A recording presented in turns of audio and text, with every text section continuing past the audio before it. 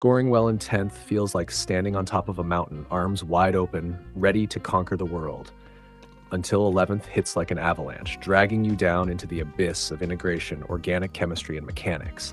The shift is brutal. In 10th, you could get by with a sharp memory and a little last minute revision.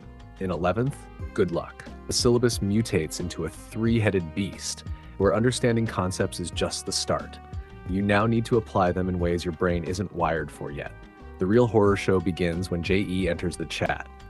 Board exams want neat, structured answers with flowery explanations, while JEE wants you to solve a nightmare of a question in 30 seconds or perish.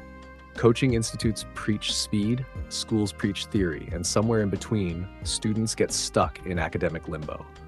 Most start strong, then reality kicks in. Scores drop, confidence tanks, and stress skyrockets.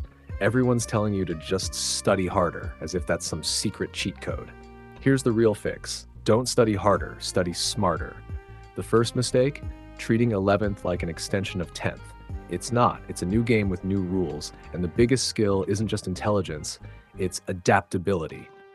First, stop the I'll cover backlog later lie. It's a trap. Concepts build on each other, so let go of perfectionism and focus on moving forward. Second, balance is key. Don't let JEE prep sabotage boards. Use NCERT wisely, master concepts deeply, and practice recall instead of passive reading.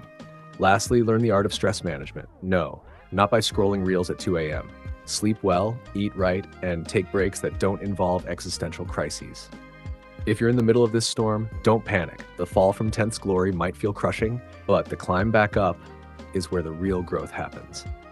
By 12th, everything starts clicking and if you've played it right, you'll emerge battle hardened, smarter, stronger, and ready to take on whatever comes next.